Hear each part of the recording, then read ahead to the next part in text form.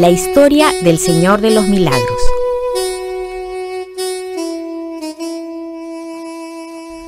Hace muchos, muchos años, Lima era una ciudad muy pequeña. Tenía una plaza mayor y también muchas huertas y sembríos. En esa época vivían en la ciudad esclavos que habían venido del África y que se reunían en diferentes grupos para cantar y celebrar recordando a sus pueblos. Cuentan que uno de estos negritos pintó en un muro de adobe la imagen del Cristo Redentor, la cual increíblemente hasta hoy está bien conservada, a pesar de haber sido expuesta por muchos años al sol, la lluvia y los temblores.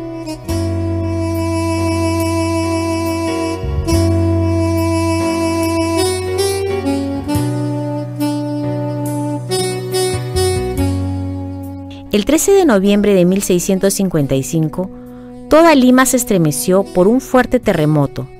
Las paredes se cayeron y varias iglesias fueron destruidas. Sin embargo, esta pared con la imagen de Cristo quedó intacta. La gente al ver semejante hecho decía, es un milagro, es un milagro. Y es así que desde ese momento las personas comenzaron a rezar frente a esta imagen para pedir al Señor por sus intenciones.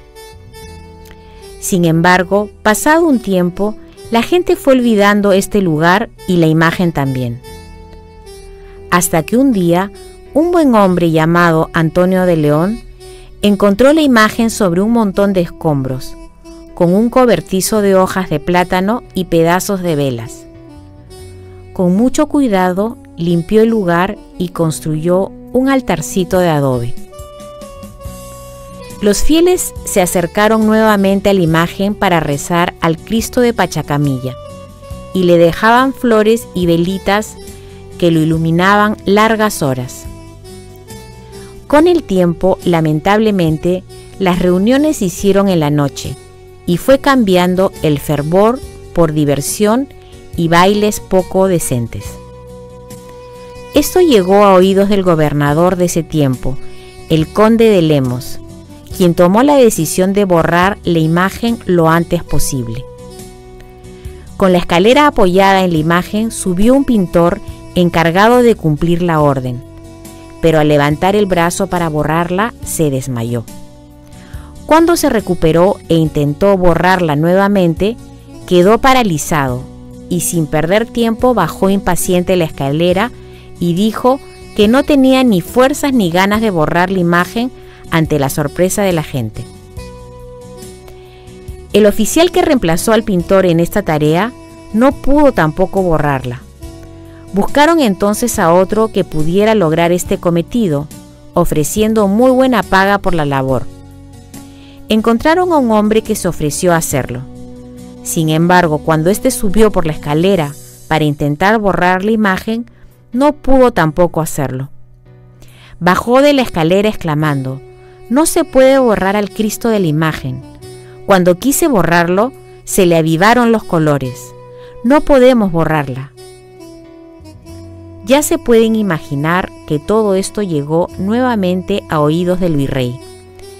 Él, quien fue personalmente a verla, quedó maravillado y decidió no borrarla se propuso darle su protección y puso como mayordomo de la capilla del Santo Cristo a Juan Quesada y Zárate.